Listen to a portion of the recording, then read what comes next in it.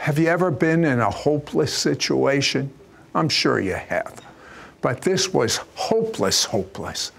My guest had a son, seven years old, the worst kind of autism, can't read, can't write, can't spell. And all of a sudden, he starts communicating with the most profound thoughts coming from heaven. In fact, it then gets better. Then he begins prophesying and changing people's lives. My guest said no one's in a hopeless situation. My guest says she knows how to grab hold of a supernatural rope of hope. My guest, Tahni, you're a pastor, one of, one of many pastors at a mega church your life is going good, you have a nice marriage, uh, you have a beautiful baby boy, and then a bombshell hits you. What was it? Well, yeah, everything had been going wonderful. We had our little jo- Joy, Josiah, and uh, we named him that because it meant fire of the Lord. Hmm. And we were excited to start our family. And, uh, you know, we bought our house. Uh, we wanted to have 2.3 kids with a dog and a picket fence, you know, the American dream. Yeah, you've been watching TV. yeah, exactly. Uh, but Josiah was hitting all of his medical milestones. Everything was going really well until about 22 months old. All of a sudden, very quickly, things began to shift. And over about a three three week period of time, Josiah. he stopped looking at us. Josiah. He stopped responding me, to his name. Josiah. Suddenly, play skills that he had. Uh, he started losing them and the 40 words or so that he had began to just go away words mm. like mama and dada he was flipping lights on and off incessantly. And so uh, we mobilized and we tried to figure out what was going on. After four months or so of testing, we finally found ourselves sitting in a boardroom with doctors around the table. And they said, uh, it's autism spectrum disorder.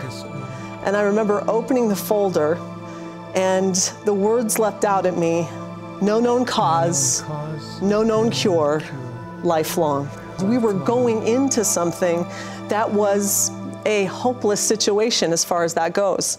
And that's really what I struggled with. God, where is hope when there is no hope? And then it got worse. At age five, he got a lifetime sentence. Explain that we mobilized. We had done everything we possibly could uh, in the natural. You know, we we absolutely got him into the best therapies. We did all sorts of uh, alternative therapies with him. I even sat with him in a hyperbaric oxygen chamber for 14 dives. They're called. We did everything we really could. But then at five years old, we did get that addendum that we just hoped we would never get. That he was nonverbal, low functioning, and severe. And so, Sid, what that meant was that he would be one of 40% of children with autism that they say would never speak. Hmm. How, how did you, as a mother, cope with this? Well, that's just it. You're really told to learn how to cope with it. And I really struggled with that coping thought. In fact, I, I asked God, how am I supposed to cope with this? I wrote down 10 questions for God because I said, you know, if I'm going into this, I need to know biblically what I'm supposed to do, how I'm supposed to pray, how I'm supposed to manage this life. Everything, just all your best resources burn up very quickly. Uh, emotionally, spiritually, mentally, financially, you just burn out very quickly. And when God says, I have good plans, for you. I have good plans for your son, plans for hope and a future. I had to be really serious and ask God, is that for us? Do you mean that for me? I had to look at the affections of my heart and was autism the voice that I was hearing loudest? Or was what Jesus did for us what I was hearing loudest? And then at one of your lowest moments, you're not one that would have experiences with God where God would show up. That wasn't you, that wasn't your paradigm. But He showed up one day. Tell me about it. I felt like for the first time in my life, I really needed to feel Him and couldn't. And I felt like when I prayed, I was just praying into the darkness or something.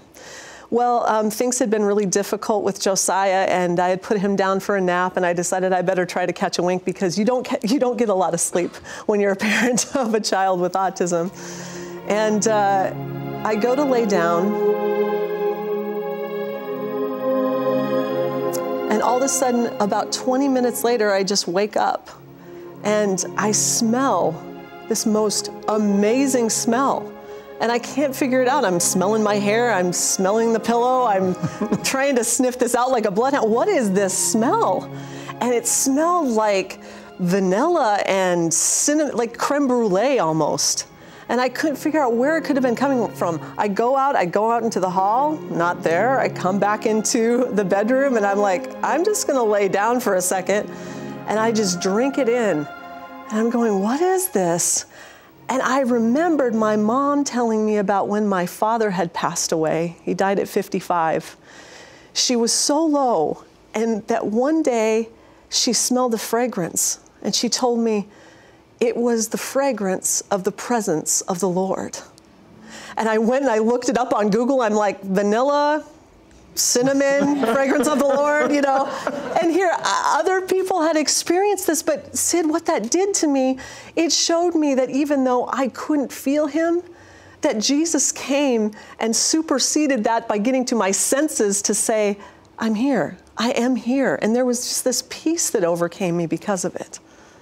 And then you found something called rapid prompting method did you ever teach him to spell? No. He started spelling. How supernaturally he knew words. And get this how supernaturally he knew amazing theological concepts that PhDs don't know. And it gets even better than that.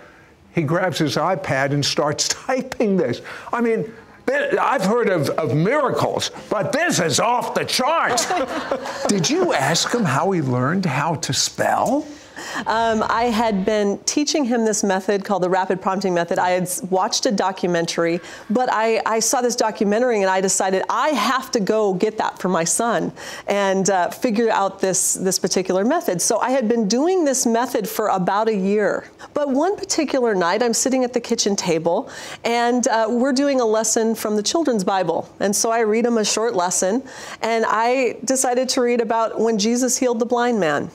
So I read the lesson and then I say, Josiah, Jesus Josiah, healed the blind Jesus man. What did Jesus do? Did he H E A L heal, heal the blind man or, P L A Y play with the blind man? You write that on a piece of paper, rip the paper in half, tap heal or tap play. Yep. He chooses heal appropriately. Right. I say, okay, let's spell heal. And I put up the iPad and there are letters in big alphabetical buttons. Right. And so I said, okay, let's spell heal. Josiah, can you spell heal? He touches G. I'm like, oh, he's missing it.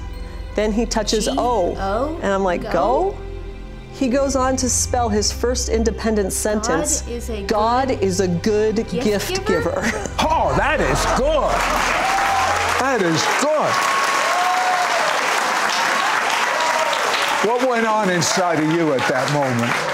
What, what happened? I, I, thought I was on candid camera or something, or I had cracked, or I was being punked or something like that. But no, I was just like, what is happening right now? And I thought, I, I think he's being healed right now. Like, after all these years of praying and all this stuff, I think he's being healed right now. I go back and I'm like, Josiah, yes, that's true, but Josiah, how do you, know, you this? know this? And he types, God is God is very, very capable. capable. and Sid, what happened from there is all of a sudden. But, but, but, but, how does a kid like that spell? I had to learn. You had to learn. You had to learn. How did he learn? I, I asked him one day, How is this happening? How do you know how yeah. to do this? And he, he typed, Jesus taught me the order of sounds. My and I'm like, Jesus gave you hooked on phonics or something? for the first time, we were getting to know our child. Things like your favorite toy, your favorite color, what do you like to do? But not only that, he started coming out with the most profound wisdom words. But uh, here's what I don't understand.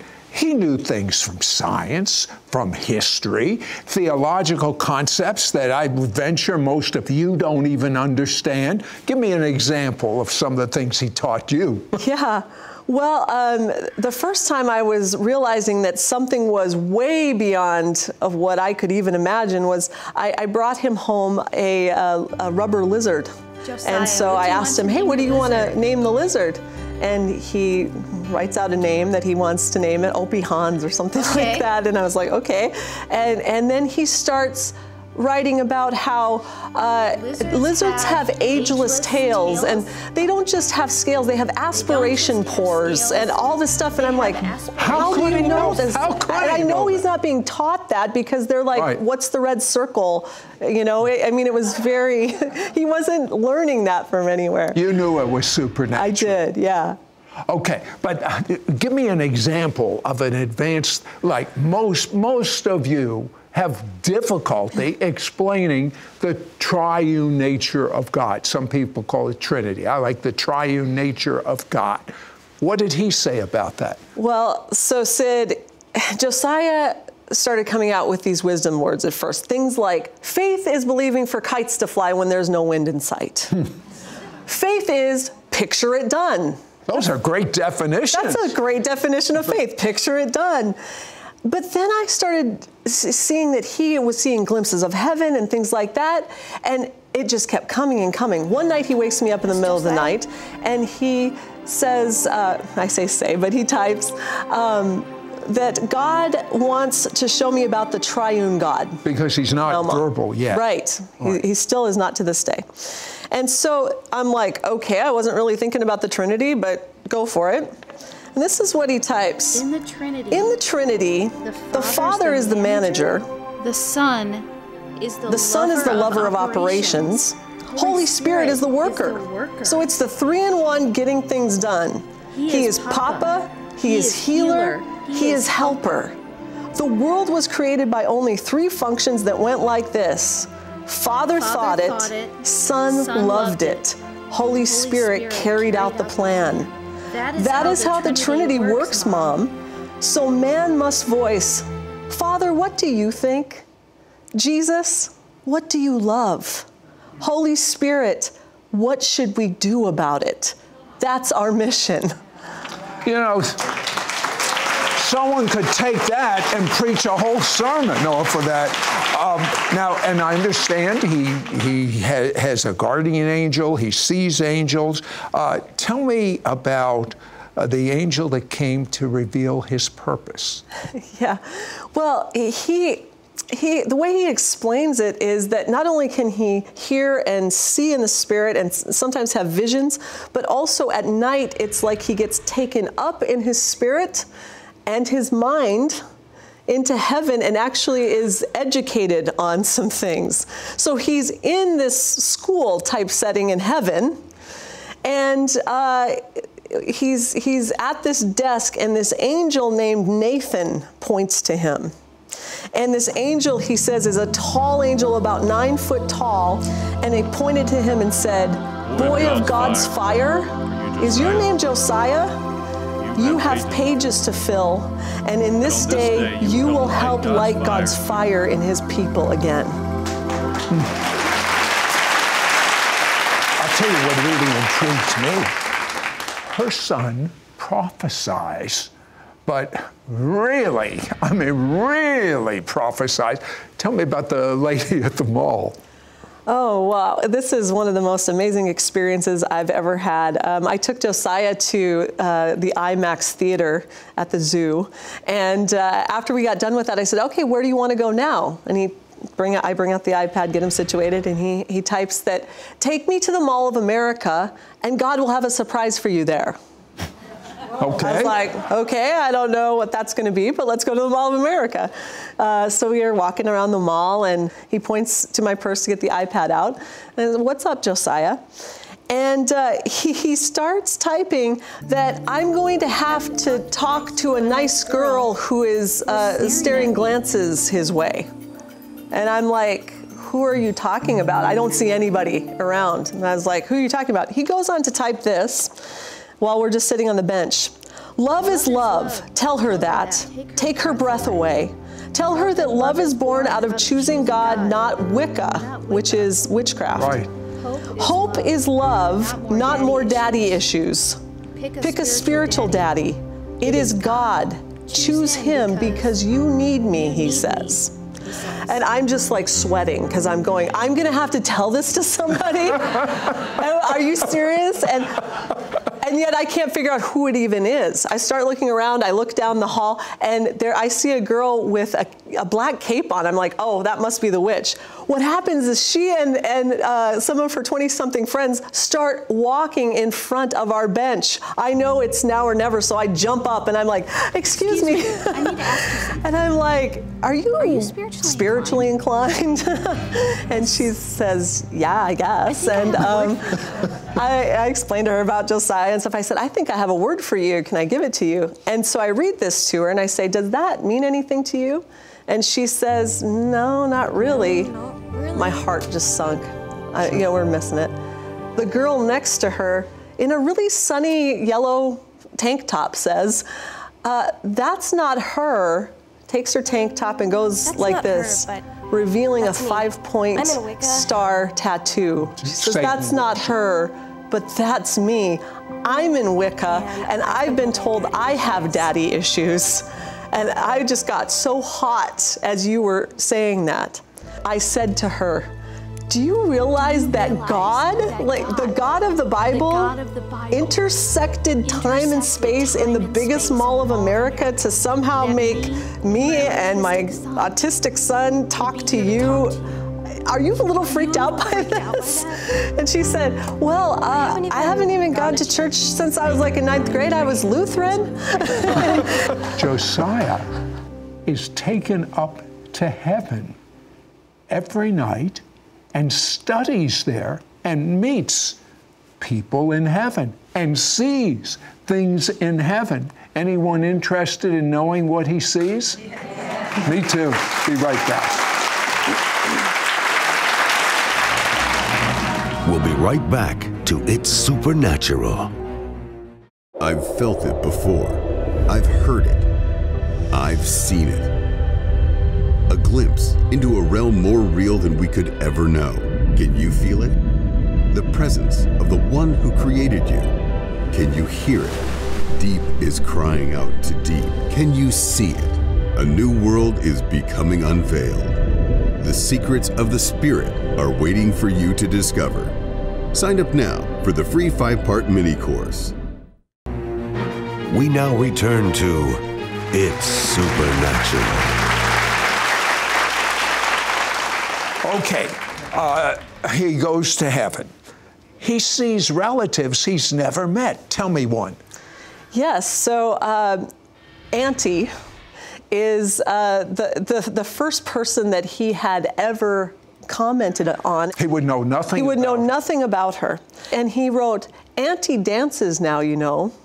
Um, the idea that Auntie was dancing when she was such a reserved person was just beautiful. And there have been many family members that, that he has commented on, and my father is one of them.